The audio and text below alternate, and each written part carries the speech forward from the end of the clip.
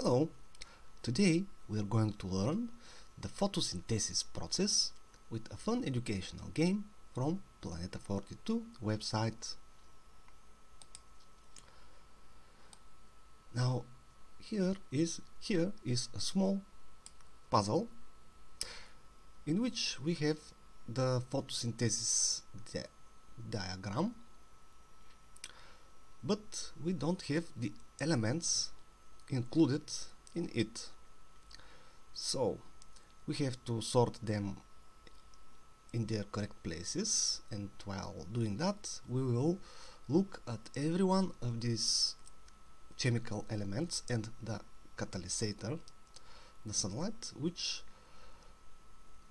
make the photosynthesis possible. Now everyone knows that to have a photosynthesis we need a tree or a plant. And uh, oh this is uh, something from the previous game.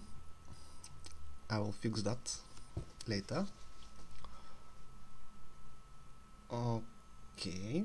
So to have a photosynthesis we uh, need uh, the plant. And uh, the plant has that uh, chlorophyll organelle that is uh, in it in the plant cells.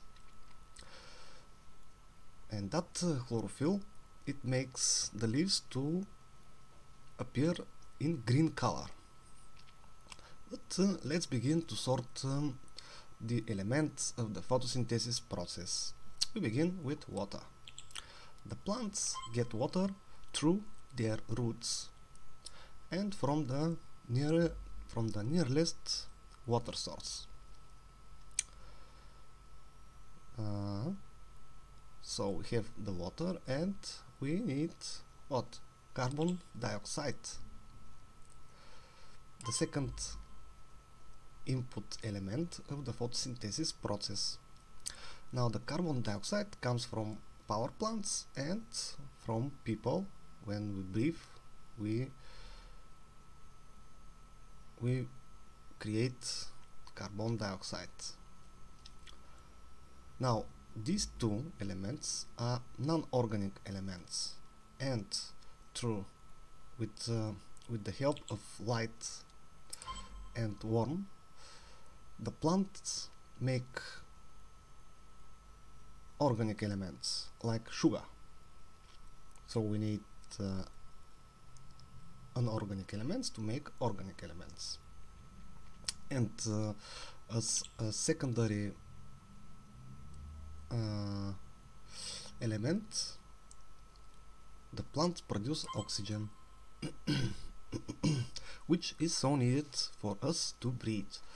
What is interesting to know is that millions years ago when the earth wasn't covered with plants there was no oxygen and the life forms that have been on Earth haven't breathed oxygen but other elements. So when the Earth began to cover to be covered with plants, the atmosphere was poisoned with oxygen and most of other based organisms have died so the oxygen actually poisoned the world to appear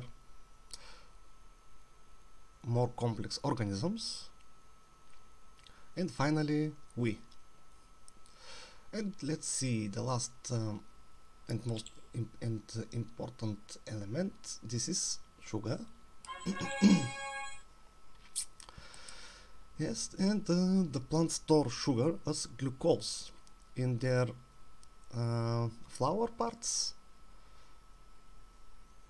to use them later as energy and this is uh, basically the photosynthesis process.